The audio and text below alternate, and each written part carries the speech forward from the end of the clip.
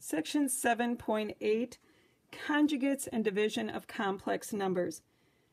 If you recall, a conjugate is a two-term expression that has the same first and second terms with opposite signs. We're going to use conjugates of complex numbers that are defined in a similar manner to help us deal with division. So the conjugate of a complex number, a plus bi, is a minus bi. And the conjugate of a minus bi is, no surprise, a plus bi. Anytime we multiply conjugate complex numbers together, we will eliminate the radical, similar to rationalizing the denominator that we've done previously in this course.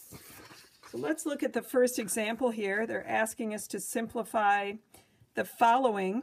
We really can't do division in the complex number system, or radicals for that matter, which recall i is the square root of a negative 1, so we have just a different version of a radical. But what we can do is to eliminate that radical, or in this case, the square root of negative 1, which i is representing from the denominator. And to do that, we'll multiply by the conjugate of the denominator. So the conjugate of 2 minus i is 2 plus i. And what we multiply the denominator by, we will multiply the numerator by, because this expression is equivalent to 1. In the numerator, to simplify, we have a binomial times a binomial. We'll multiply first terms together to give us 6. Outside terms, a 3i. Inside terms, multiplied together, give us a 4i. And last terms multiplied together will give us a 2i times i, or i squared. In the denominator, foiling this as well, first terms multiplied together is 4 outside terms multiplied together will give us a positive 2i. Inside multiplied together will give us a negative 2i. Those terms are opposite and cancel out by design because of our conjugates. But we also have to multiply our last terms together. A negative times a positive is a negative, and i times i is i squared. Simplifying this further and recalling that i squared is a negative 1. We have 2 times negative 1, which would be a negative 2, plus the 6 will give us a 4. 3i plus 4i is 7i. i squared in the denominator is a negative 1, so we have minus a negative 1. Minus a minus is a plus. So we end up with a 5 in the denominator when we get done simplifying with the numerator. And typically we express our final answer in the form of a plus bi, keeping in mind that both of the terms in the numerator have a denominator of 5. So we can break this up into the real portion, 4 over 5, plus 7 fifths i for the imaginary portion. In this next example, they're asking us to simplify, and the problem here is we have this i, which is a radical in the denominator. We want to eliminate the radical. To do that, we'll multiply by the conjugate of the denominator, which is the same first term and second term, but the opposite sign. What we do in the denominator, we will do to the numerator, which this is equivalent to a 1.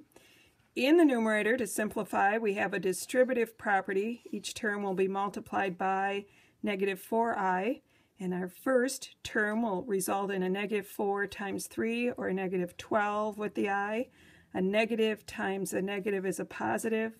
4 times 5 is 20. i times i is i squared.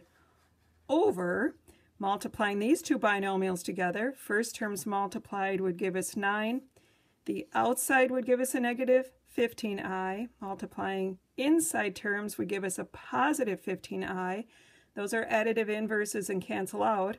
Last terms multiplied together, positive times a negative is a negative. 5 times 5 is 25. i times i is i squared, which I'm going to replace with a negative 1. Simplifying this further then, we have our i squared, which is the negative 1, which is going to make this a negative 20. And I'm going to put that in front. We generally put our real number first and then our imaginary term second. In the denominator, our i squared is a negative 1. Negative 1 times 25 is a negative 25, but we're subtracting, so we end up with a positive 25 plus the 9 is going to give us a 34. Now, we have a couple choices. We do want to express this as a plus bi, but while we're at it, perhaps before we do that, reduce this by factoring. Each of these numbers is an even number, which means we can factor out a 2 out of the numerator, which will leave us a negative 10 minus 6i, which this factor of 2 in the numerator will cancel out a 2 in the denominator, leaving a 7. Now we're ready to split these apart, and not that you couldn't have done it before and reduced each fraction individually. It's kind of six of one and half a dozen of the other, but our real portion of our complex number will be negative 10 over the common denominator of 17 minus our imaginary portion, which is 6i over 17. In this next example, we have a division simply because of having this fraction bar. We can't simplify, but we need to get that radical that's disguised as i, since i stands for square root of negative 1, out of the denominator. To do that, we will multiply by 4i. And we could multiply by i itself so that we don't end up with as large a number, but just recognizing that this essentially is a conjugate of itself, I can also put a negative there as well. As long as I'm maintaining equality, so we have a couple choices. I alone multiplied would get rid of our denominator. 4i will get rid of our denominator of the imaginary portion of it, which is a radical, and we could also put a negative. So all those choices are legitimate choices for simplifying that denominator. I'm going to stick with what I have here and see how this turns out. We are maintaining equality by multiplying both numerator and denominator by the same value.